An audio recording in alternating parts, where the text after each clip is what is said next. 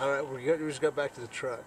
Uh, Skye hit this buck right before it shot this 3 by 3 We'd been looking at him for quite a while, but decided not to shoot until he uh, finally presented the shot. At the Once we finally decided to shoot him, we waited, and we waited for probably a half hour, almost a half hour, while he just sat there feeding right towards us.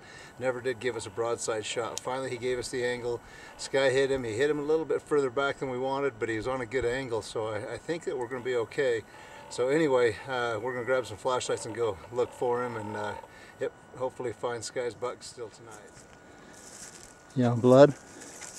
Yeah, bleeding pretty good so far, even though I hit it pretty far back.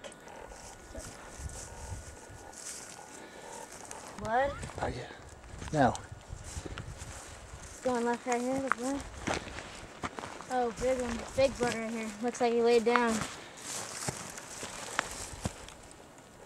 He's hit hard. All right. Where do we go from there? Oh, it's all over those bushes. He's got to be right here. It looks like he's lay. It looks like he's crashing. Oh, there's some good blood. There he is. Right here. Holy crap! Yep, nice job, man. Good tracking job. All right.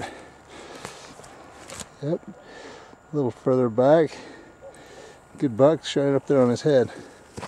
Nice right, here we are job. again with Skye, his third buck.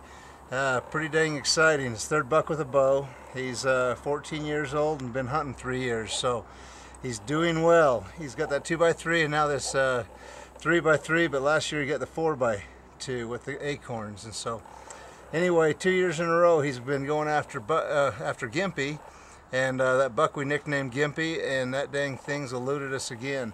And tonight we had him at uh, 20 yards and he wouldn't give us the shot. He was standing there facing us for probably 10 minutes and then he turned and walked away. So anyway, this guy was still there and Skye wanted to hold out. So we held out for about another hour hoping uh, we'd get another crack at uh, Gimpy and it didn't happen. And this buck was facing us towards the evening. Um, they'd all left and we thought we were going to get skunked and tonight's the last night of the hunt.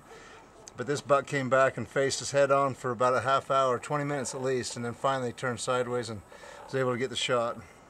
A little bit further back, but uh, a great entrance hole, and it was angled at the right angle that he literally only went uh, 70 yards. Uh, hit definitely through the gut. We knew we hit a gut shot, and so I thought we needed to leave it a little bit longer. But wow, this lightweight bow, 40 pounds. He's uh, shooting light arrows because we're trying to get as much speed as we can. We know a lot of people say that you need to get the weight to carry it through, but we're kind of going with the we need more speed so we can get that speed to carry it a little bit further back than we wanted. But geez, we had great penetration all the way up, except for the very end of the arrow was in. So we had a good, uh, probably 20 inches, maybe uh, 18, 16 for sure, probably 18 inches of arrow in him.